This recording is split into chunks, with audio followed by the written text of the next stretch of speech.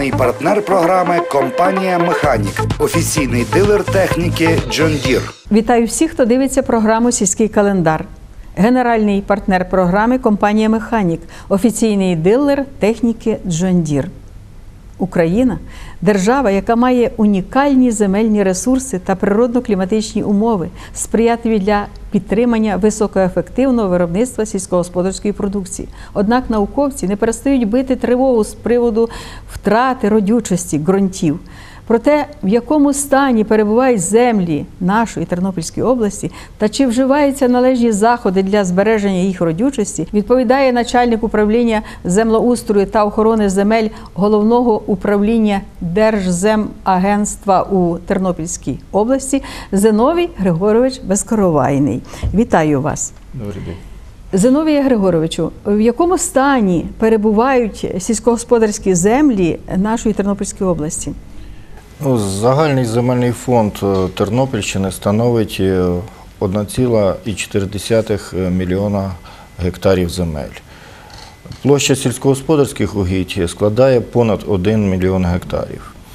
Е, Тобто це складає е, 76% території області. Із загальної кількості сільськогосподарських е, угідь е, 850 тисяч гектарів або 62% це становлять орні землі. Тобто ці земельні ділянки, які систематично обробляються і використовуються під посіви сільськогосподарських культур. Ну, така освоєність е, сільськогосподарська і розореність території області е, привела до порушення екологодопустимого співвідношення ріллі, е, лісових угідь, водних угідь, кормових. Це є все в результаті привело Такої безгосподарності, напевно, немає одного господаря, Е, чи як в тому- пояснити? Е, Справа в тому, що е, за останні роки, скажімо, навіть було і відсутнє фінансування на різного роду хімічні заходи. Також в сучасному землеробстві області е, створилися ну, такі несприятливі умови, як не тільки в нашій області, а й в цілому по Україні, що е, агрохімічний стан ґрунтів е, погіршується внаслідок основного агрохімічного закону агрохімії. Тобто винос позивних речовин, які є в ґрунтах, не компенсується внесенням економічно е, доцільних норм добрив. Ну, в першу чергу, органічних добрив. Це відповідно вплинуло на стан ґрунтів, а інтенсивність і інтенсивне сільськогосподарське виробництво, крім цього, ще й впливає на різного роду ерозійні процеси. Тобто 90% земель Тернопільщини е, десь в цих процесах е, задіяні чи е, безпосередньо потребують вже відповідних заходів з охорони земель. Е, Скажіть, будь ласка, а яким чином вплинули на загальну ситуацію розпаювання та приватизація земель? Ну, реформування земельних відносин здійснюється в напрямку того, що недержавні та державні сільськогосподарські підприємства були приватизовані. В результаті чого збільшилася чисельність землевласників та землекористувачів. Хтось правильно використовує землю, хтось не вміє нею користуватися, так? але кожен хоче мати землю. Ну, на сьогоднішній день е, майже тисячу агроформувань, а ще майже 34 тисячі громадян ведуть індивідуальне сільськогосподарське виробництво. Е, Це зрозуміло, що е, перетворення, ті, які відбулися в аграрній сфері, е, чомусь відбулися без належного наукового підходу, організаційного.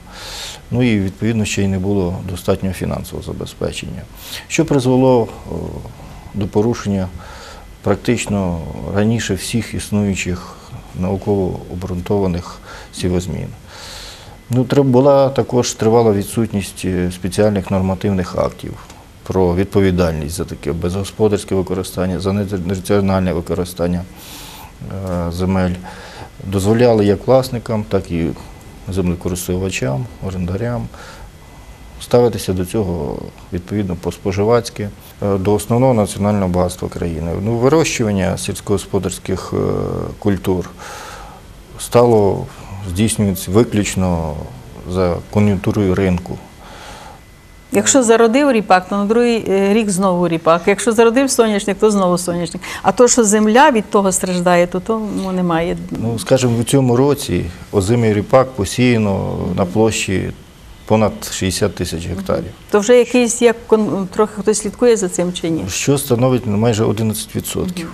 Є відповідні нормативні документи, затверджені постановами Кабінету міністрів для нашої, е, скажімо, природно-сільськогосподарського регіону. е, Ріпак повинен складати від 0,5% до 10%. А вже в деяких районах в структурі посівних площ, скажімо, Збаразький район, Теребовлянський, вже більше 12, в Бучицький, Козівський на рівні 15. Крім цього, при цьому на одній і тій самій ділянці, деколи е, повторно засівається ріпак. Тому е, така А це період- ж зовсім не можна. Це е, земля. ну, допустима періодичність науково обґрунтована не менше, ніж на 4-5 років. Скажіть, будь ласка, а чи вирішуються ці проблеми на законодавчому рівні? Ну, законодавче вирішення е, таких нагальних проблем із забезпечення охорони, збереження родючості, відтворення ґрунтів розпочати в нашій країні з прийняттям на початку в середині 2009 року закону України про внесення змін до деяких законодавчих актів України по збереженню якраз родючості ґрунтів. Він набрав чинності з 1 серпня 2010 року. Деякі його положення е, набрали з 1 чинність 1 січня 2013 року. Ну, відповідно до цих змін, внесених е, в закони інші е, України, в допустимо, в Земельний кодекс України статтею 22 цього кодексу е, передбачено, що використання земельних ділянок сільськогосподарського призначення для ведення товарного сільськогосподарського виробництва повинно здійснюватися згідно з розробленими та затвердженими встановленим законом порядку проектами землеустрою, що забезпечують якраз еколого-економічне обґрунтування сівозміни та впорядкування е, з 1 січня 2013 року ці вимоги поширюються на товаровиробників сільськогосподарської продукції, які використовують земельні ділянки площею понад 100 гектарів, а вже з 1 січня 2015 року на тих власників і землекористувачів, які взагалі ведуть е, товарне сільськогосподарське виробництво. Е, То виходить, що за допомогою проєктів сівозмін можна забезпечити збереження родючості ґрунтів. Е, Звичайно, тому що сівозміни є основною основою стабільності землеробства. Вони позитивно впливають на всі важливі ґрунтові режими в першу чергу. Насамперед, е, поживний, водний, також повітряний, тепловий. Сприяють активній детоксикації шкідливих різних речовин, визначають комплекс умов складного агро, агробіологічного цинозу. Ну, про позитивність чергування оцих змін ще було відомо е, за часів Древнього Риму. От. Науково обґрунтована система е, сівозмін широко застосовувалась і за часів Радянського Союзу. На жаль, в Україні це питання знайшло належне законодавче врегулювання лише зараз. Ну, земля це живий організм. Тут теж потрібні бути, так як ви кажете, повинно бути врегульовано все.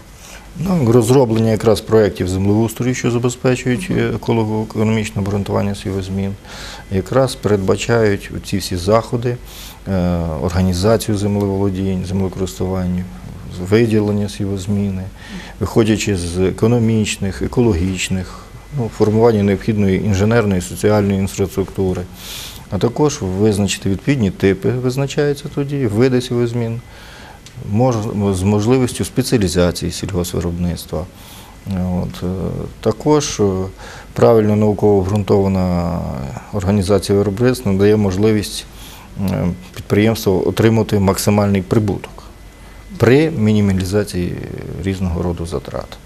Е, Науковцям також підраховано, що за умов повного освоєння зональних, от таких науково обґрунтованих сівозмін, у комплексі з цими всіма іншими технічними заходами можна підвищити продуктивність землі до 50%. При цьому забезпечується ще і відтворення родючості ґрунтів, і збереження, крім цього, природнього навколишнього середовища. Скажіть, будь ласка, а як у нашій Тернопільській області з розробкою проєктів е, землеустрою? Ну, зараз на території Тернопільщини нараховується майже 400 землевласників, землекористувачів, які використовують земельні ділянки сільськогосподарського призначення площею більше 100 гектарів. На сьогоднішній день е, більше 270 вже отримали дозволи на складання таких проєктів сівозміни.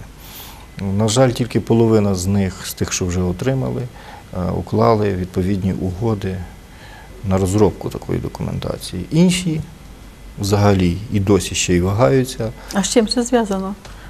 Що е, двері не можуть відкрити, чи як? Ну, зв'язано з тим, що в першу чергу є встановлений порядок. Можливо, десь думають, що вже вони повністю е, використовують ці земельні ділянки. Проведена інтенсивна роз'яснена кампанія. І в результаті все-таки це питання вирішується. Я думаю, що е, необхідність е, така е, товаровиробникам зрозуміла. І я просто хочу їх в черговий раз закликати до цього, щоб це зробити. От. І думаю, що такий результат е, і внесе і сьогоднішня наша розмова, що вони почнуть далі ці питання вирішувати і завершувати розроблення цих проєктів. А що потрібно, щоб замовити виготовлення такого проєкту землеустрою? Це що дуже багато клопотів, це як це? Ну, е, законодавець е, зробив і органи виконавчої влади все для того, щоб це можна було зробити. Є відповідний порядок складання таких проєктів. Що дуже багато дверей треба відкривати, чи як? Затверджений він постановою Кабінету міністрів, і необхідно звернутися якраз до ліцензованої землепорядної організації, які мають ліцензію на виконання таких робіт, і представити відповідний перелік документів. Е, Цей перелік в першу чергу включає історію, скажімо, полів за останні 3-5 років. Е, Свої пропозиції внести, що би хотіли бачити сільгоспвиробник. Це теж ліцензована самопорядна організація може врахувати. Е, Істотними, звичайно, умовами такого договору є вартість робіт і строки проведення таких робіт. Е, До договору, крім цього, він замовник додає документи, які підтверджують право користування цими земельними ділянками, ну, або право власності. Е, Ну, а також е, агрохімічний паспорт поля. Е, Можливо, є якісь власні чи інші актуальні матеріали польових вишукувань, ґрунтових обстежень. Тобто весь наявний арсенал, який є в сільгоспвиробника щодо використання цієї землі, він представляє відповідному розробнику документації. Ну і розробник, так як замовник за це оплачує відповідні кошти, керуючись нормативними документами, розробляє таку документацію, і, ті, е, і тоді далі він отримує і користується нею, і забезпечує ці якраз норми і законодавчі, але не тільки законодавчі, ну і норми, скажімо, е, покращення екологічного стану земель, ну і в першу чергу збереження їхньої родючості і охорони. Скажіть, будь ласка, а хто може бути розробником таких проєктів землеустрою? На сьогоднішній день, е, згідно діючого законодавства, розробником таких проєктів може бути е, юридична або фізична особа, яка має відповідну ліцензію. Ну, як показала практика, е, із тих проєктів, які вже розроблені і затверджені, достатньо ефективно в цьому напрямку працює державне підприємство Тернопільський науково-дослідний та практичний інститут землеустрою. То це туди звертатися і всі Ну не тільки туди. Е, е, Організації, які мають ліцензії на виконання цих робіт, е, можуть теж е, укладати ці угоди і виконувати. Я сказав про те, що ми ведемо постійно моніторинг за виконанням укладених угод. І в даному випадку державне підприємство, Так. Тернопільський інститут є лідером в виконанні своїх зобов'язань. А чи можна перевірити правильність виконання таких проєктів? Хто може перевірити і Цими порядками, які законодавчо закріплені Кабінетом міністрів України, такий проект, коли розробляється, він вже розроблюється, він обов'язково погоджується районною державною адміністрацією. За місцем розташування якраз земельної ділянки. Після цього він підлягає проходженню державної землепорядної експертизи. Коли отримає позитивний висновок вже державної землепорядної експертизи, затверджується безпосередньо самим замовником. Ну і крім цього, за, якщо цей проект розроблений і затверджений, контроль за дотриманням таких проєктів на сьогоднішній день в області здійснює Державна інспекція сільського господарства в Тернопільській області. А скажіть, будь ласка, чи, відпов... а чи передбачається якась відповідальність, коли немає проєктів землеустрою, що забезпечують ну, дане таке обґрунтування на користування землею? Е, Так, е, така відповідальність є. Е, З 1 січня 2013 року вступила в норму в силу норма статті 55 Закону України про адміністративну про Кодексу України про адміністративні правопорушення. І за використання земельних ділянок сільськогосподарського призначення для ведення товарного сільськогосподарського виробництва без затверджених проєктів землеустрою передбачена адміністративна відповідальність. Е, Максимальна відповідальність е, до 8,5 тисяч. Ну, якщо громадянин від 850 гривень. Тобто е, для сільгоспвиробників, які більше 100 гектарів, це буде десь лежати в рамках від 500 тисяч гривень до 8,5 тисяч гривень. Але я хотів би сказати, що це не про відповідальність. Ми несемо в першу чергу моральну відповідальність. Ті сільгоспвиробники, які використовують національне багатство, повинні розуміти, що справа не в штрафі, а справа і в моральній відповідальності перед нашими е, нашим майбутнім, перед нашою землею. Ми повинні за неї всі вболівати. Я впевнений і переконаний, що переважна більшість сільгоспвиробників так і думає.